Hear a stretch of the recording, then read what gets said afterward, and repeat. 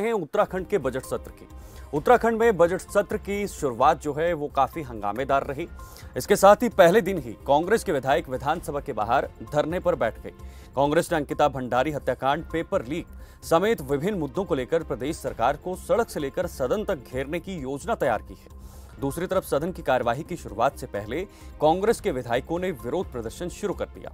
कांग्रेस ने विधायक विधानसभा गेट के बाहर हाथ में तख्ती लेकर धरने पर बैठ गए। यही नहीं, जब सदन में राज्यपाल का अभिभाषण हो रहा था, तब भी कांग्रेसी विधायक सदन के भीतर हंगामा काटते हुए नज़र आए। इसी कड़ी में आज सदन के दूसरे दिन की कार्रवाई भी हंगामेदार रहने के आसार हैं।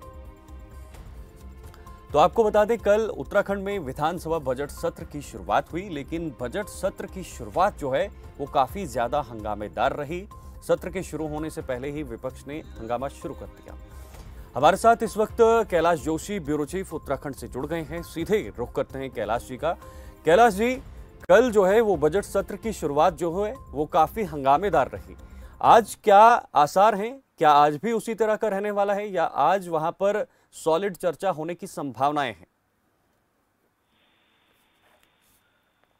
बिल्कुल शीतल देते हैं जिस प्रकार से कल विधानसभा सत्र की शुरुआत हुई है क्योंकि खबरफास्ट ने पहले ही अपने दर्शकों को आगाह कर दिया था बता दिया था कि कांग्रेस की जो प्लानिंग है वो किस प्रकार की प्लानिंग है कांग्रेस मुद्दों को लेकर कांग्रेस जो है घेराव करने जा रही है। क्योंकि हमने पहले ही इस बात को स्पष्ट किया था कि कांग्रेस जो है विधानसभा कूच करेगी कूच करने कूच करने के जो इश्यूज़ होंगे उसमें अंकिता भंडारी हत्याकांड हो या फिर महँगाई हो बढ़ते पेट्रोल डीजल के दाम हो तमाम जो कानून व्यवस्थाएँ उत्तराखंड में चरमराई हैं उसको लेकर हो इसमें पहले ही हम लोग जो है अपने दर्शकों को बता चुके थे। और वही कल हुआ और सदन के अंदर जब राज्यपाल का अभिभाषण चल रहा था तो गरिमामयी पद होता है राज्यपाल का। और इस तरीके से सदन के अंदर हंगामा करना अभिभाषण को न सुनना ये कहीं कहीं राजनीति की पराकाष्ठा को बताता है। ये है कि कल जो कांग्रेस की ओर से आरोप प्रत्यारोप का दौर रहा राज्यपाल पर भी उंगलियाँ उठाई गई। हालाँकि भाषण हुआ अभिभाषण होने के बाद सदन की कार्रवाई हुई।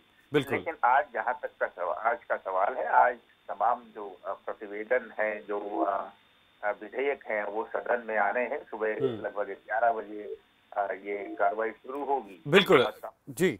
कैलाश जी सरकार सरकार एक तरफ़ से चाहेगी कि ये जो सत्र है ये पूरी स्मूथली वहाँ पर चले सही ढंग से चले पूरा सत्र। लेकिन दूसरी तरफ़ सरकार के सामने ये चुनौती भी है कि विपक्ष जो है वो अगर सदन से बाहर रहा वो अगर हंगामा काटते रहा तो कैसे ये कार्रवाई चलेगी? तो उसको लेकर सरकार क्या कुछ करना चाहेगी? देखिए जहाँ तक सदन की चलाने की बात हो, होती है वहाँ पर चाहे विधानसभा अध्यक्ष हो चाहे नेता सदन मुख्यमंत्री पुष्कर धामी हो दोनों ने विपक्ष के नेताओं से मुलाकात की है और शांतिपूर्वक जो सदन है उसको चलाने की गुजारिश उनसे की है। क्योंकि पूरे राज्य का मामला है राज्य के विकास का खाका वहाँ से बुना जाता है तमाम विधेयक वहाँ पर आज लेके आने हैं। तो उन चीज़ों को लेकर मुलाकात की है। मुलाकात करने के बाद निवेदन भी उनसे किया है कि शांतिपूर्वक इस सत्र को चलने दें और साथ ही जो राज्य के विकास की बात है उसको आगे बढ़ाने में सहयोग करें। और जहाँ तक बात है क्योंकि देखिए जिस प्रकार से कल कैबिनेट में तमाम मुद्दे आए हैं सत्ता पक्ष के लिए भी है और विपक्ष के लिए भी है। अगर विधायक यदि बड़ी है तो कांग्रेस के लिए भी बड़ी है और बीजेपी के लिए भी बड़ी है उनके विधायकों के लिए बड़ी है। बिल्कुल तो कहीं ना कहीं विकास की जो पटल पर जो विकास के मंदिर में जो नींव रखी जा रही है सकारात्मक सोच के आधार पर रखी जा रही है उसमें दोनों को सहयोग करना पड़ेगा। ठीक है।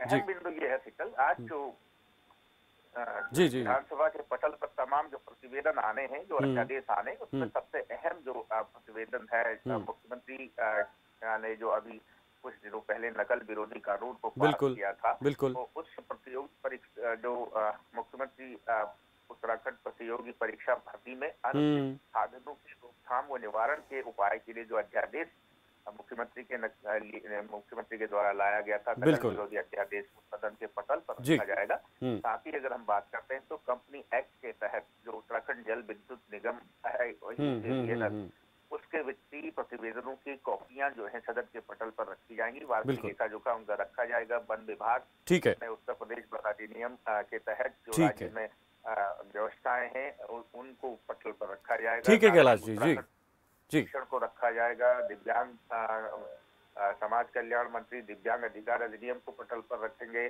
तमाम ऐसे अधिनियम है जिनको यहाँ पर रखा जाएगा। उसके बाद ये विधानसभा में अधिनियम जो है ये विधेयक जो है ये अधिनियम बनकर उभर के आएँगे। बिल्कुल बिल्कुल। प्रश्नकाल का दौर जारी रहेगा। बिल्कुल अब देखना होगा। जी कैलाश जी अब देखना होगा कि इस पर विपक्ष का क्या रुख रहता है।